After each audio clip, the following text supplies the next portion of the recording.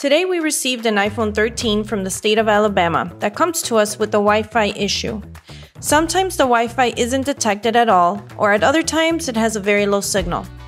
As you can see, we have enabled the Wi Fi and it does not populate any connections nearby.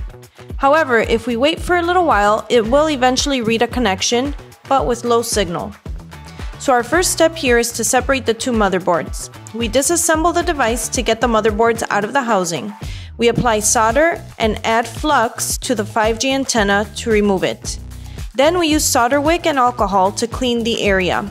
This is followed by placing the motherboard on the preheater at 220 degrees Celsius for about 3.5 minutes. Then we remove the motherboard and let it cool off by placing it in the smoke extractor. As you see here, we have the upper motherboard and the lower motherboard. Once it's cooled, we begin to clean the traces from the upper layer motherboard. We apply flux and solder all around the perimeter, which will facilitate the cleaning of the traces once we use the solder wick. Now, we go around the perimeter with the solder wick, making sure all the traces are clean and flat.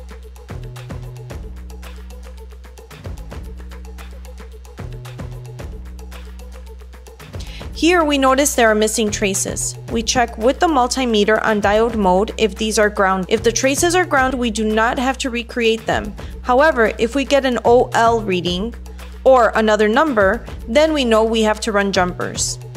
In this case, the missing traces are ground. Now we get the lower layer motherboard and repeat the same procedure. We use solder and flux around the perimeter and then follow through with the solder wick. Once that is completed, we use alcohol to clean any leftover residue. Do you want to learn how to do this and other microsoldering repairs? Visit our website for our upcoming 5-day training schedule. We also offer private one-to-one classes. For more information, visit us at www.cellphonerepairacademy.com. Now we have this tool that allows us to test the two motherboards together. It will tell us if the problem was a connection issue or if there was another source to the problem. We connect the screen, the charging port, and use the power supply as our battery, and once connected to the charger, we turn on our device. As you can see, the device populates many Wi-Fi connections nearby. So this tells us the issue was due to the impact, and it has been properly repaired. Our next step will be to resolder the motherboards together. We are going to use this stencil for the iPhone 12, which will help us reconstruct the solder balls.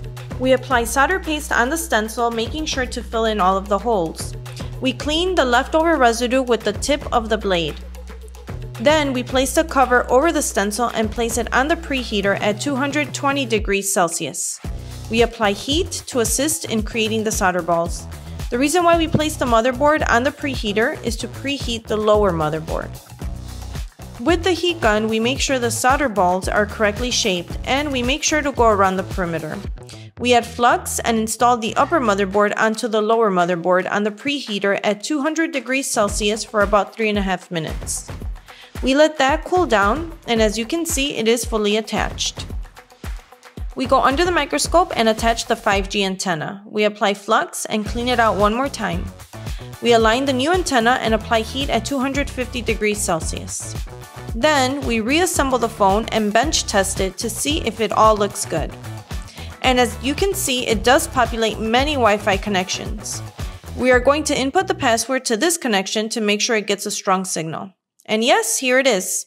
This repair has been successfully completed. Thanks for tuning in.